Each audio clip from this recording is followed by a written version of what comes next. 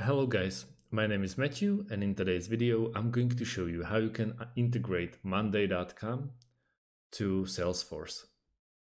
First of all, we want to create an account on zapier.com. This is very easy way how you can make integrations, so I'll strongly recommend this one.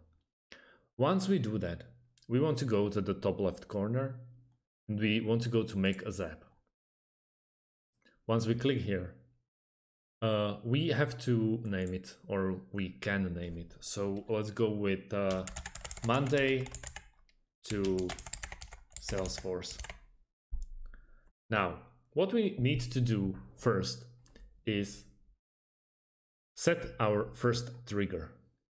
Search an app. By search an app, uh, you have to go for monday.com in our case we have to choose an event. So new board, new item, it's completely up to you. Exactly what you need, what will happen.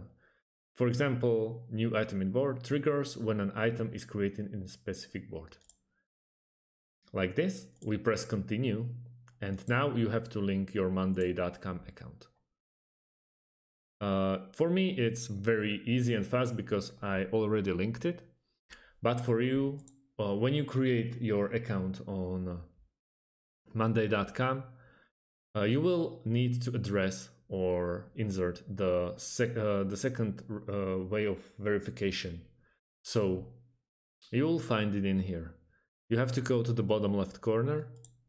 You press uh, left click or a left mouse button and go to admin. Now we need to go to to API.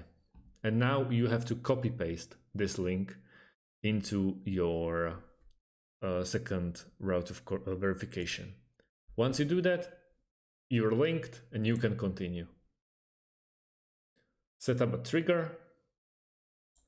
What will be the trigger? You have to, yeah, start from scratch and go to continue and you can test your trigger. Now, the second one is our outcome application. In our case, it's Salesforce. Now, as you can see, it's for premium.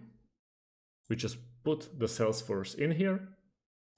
We have to choose an event. Once again, uh, what will happen?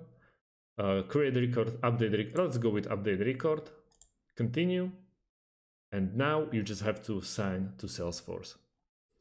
It's very easy. I think that uh, you will find exactly what you need and this integration will save you a lot of time. Thanks for watching and see you in the next video.